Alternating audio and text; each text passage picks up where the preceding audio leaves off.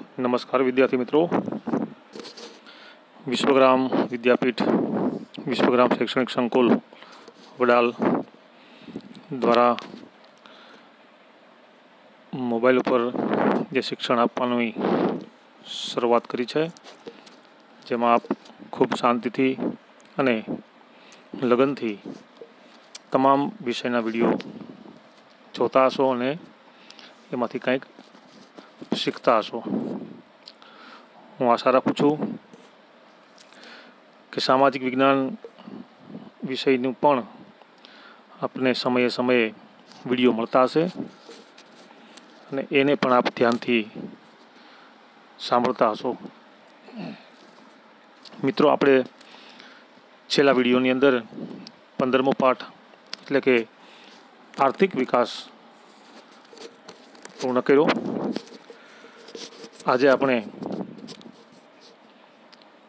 Chapter number બે, ભારતનો સાંસ્કૃતિક વારસો. એને જોવાનું છે. મિત્રો, ભારતનો સાંસ્કૃતિક વારસો,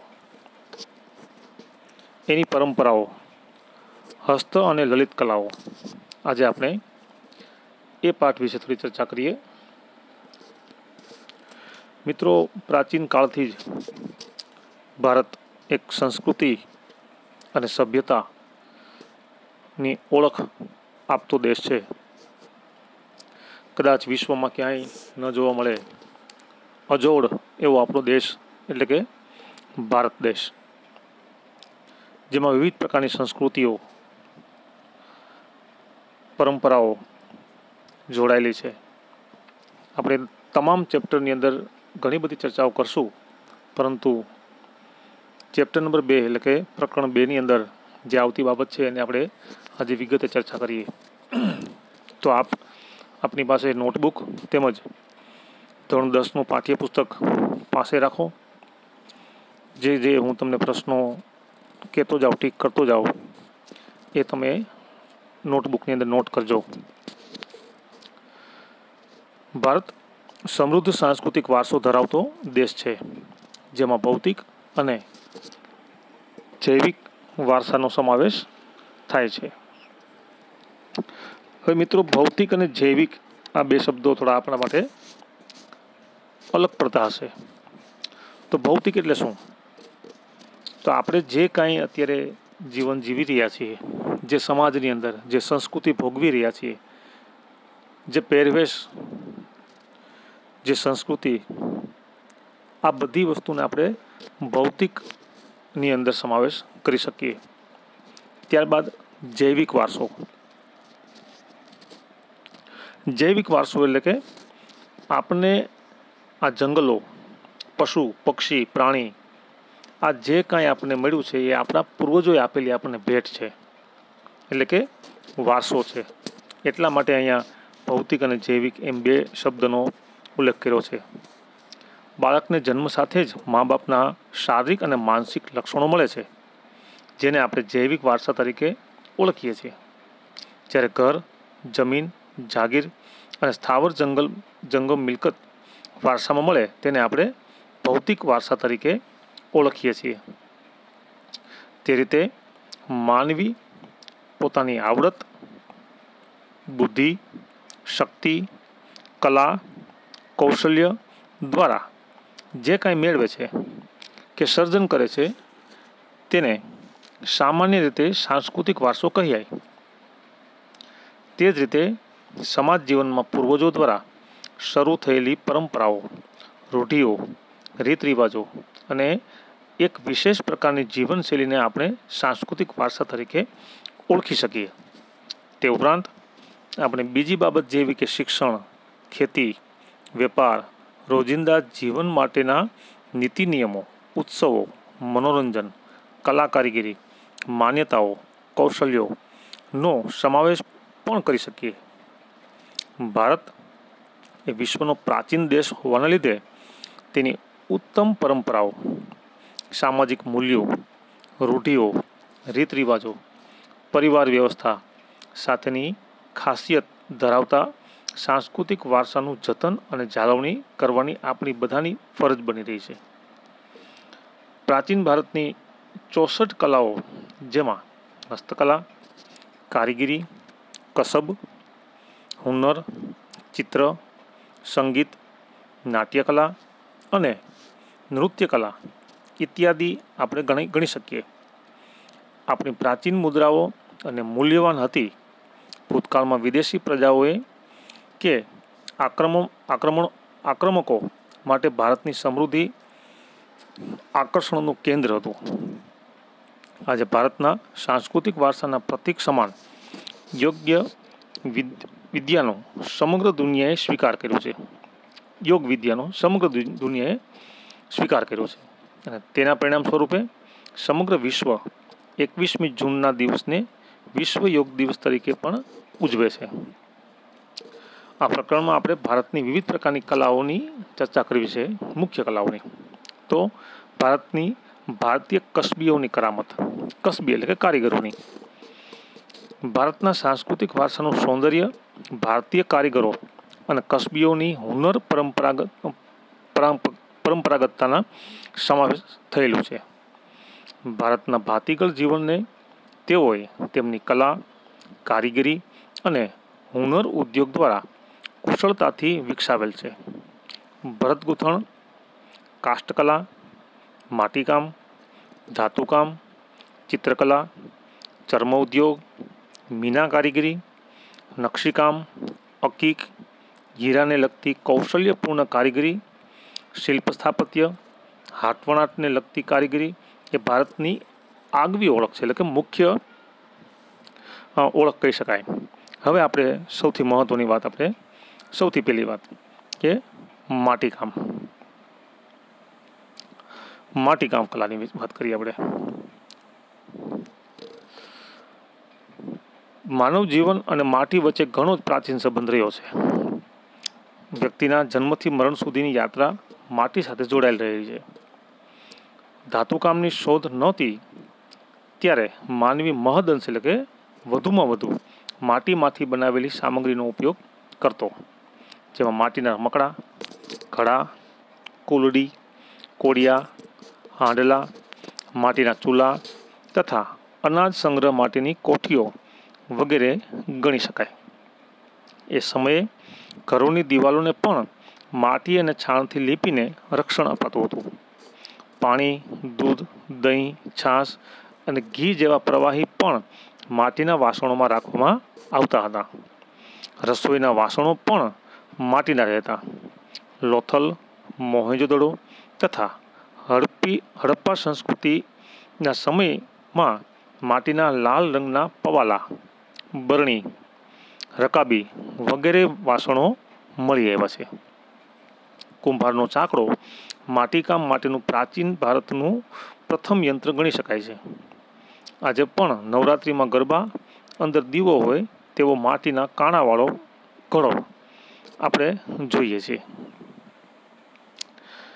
કાચી માટી અને કાચી માટીમાંથી પકવેલી ટેરાકોટા વાસણો તેમજ વસ્તુઓનું ઉત્પાદન કરવા માટે ભારત પ્રાચીન કાળથી જાણીતું છે. જેનો ખ્યાલ આપણને દક્ષિણ ભારતના નાગાર્જુન કોંડા અને ગુજરાતના લાંગણજ, મહેસાણા જિલ્લામાંથી મળી આવેલ હાથથી બનાવેલ માટીના વાસણોના જૂના અવશેષોના આધારે મળે છે.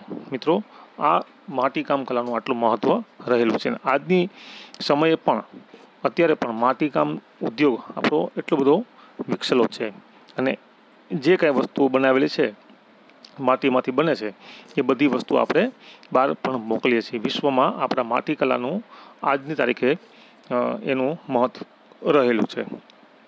ત્યારબાદની વાત આપણે કરવી છે, વણાટ કામ કલા મિત્રો સ્ક્રીન ઉપર તમને જે પ્રશ્નો દેખાય છે, એ પ્રશ્નો તમે નોટ કરતા રહેજો.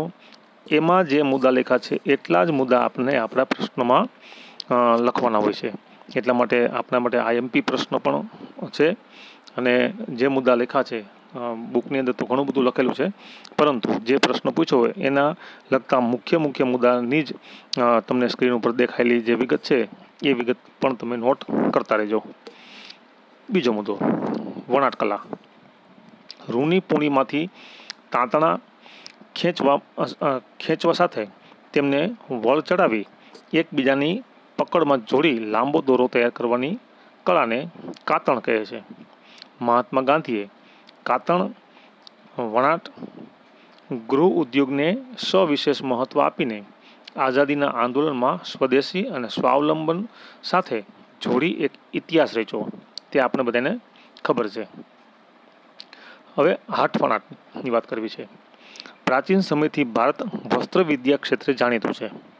ભારતના કુશળ કારીગરો દ્વારા તૈયાર થયેલી ઢાંકાની મલમલનો તાકો દિવાસળીની પેટીમાં સમાતો અથવા સાડી વીંટીમાંથી પસાર થઈ જતી એટલી ઝીણું બારીક કામ આપણું, આપણા કારીગરો કરતા. કશ્મીરી, કાશ્મીર સહિત ભારતમાં બનતા ગાલીચા પાટણના પટોળા કાંજીવરમ તેમજ બનારસી સાડીઓ, રાજસ્થાનની બાંધણીઓ જેવા વણાટકામના બેનમૂન હુનરના નમૂના એ ભારતની એક આગવી ઓળખ રહેલી છે. ગુજરાતમાં સોલંકી યુગના સુવર્ણકાળ દરમિયાન તે વખતના પાટનગર પાટણમાં અનેક કારીગરો, એટલે કે સાવળીઓ આવીને વસ્યા. તેમની આવડત અને કૌશલ્યને લીધે ખાસ કરીને પાટણના પટોળા જગતભરમાં વિખ્યાત છે. પાટણનો આ હુનર આશરે આઠસો પચાસ વર્ષ કરતાં પણ પ્રાચીન હોવાનું જણાય આવે છે.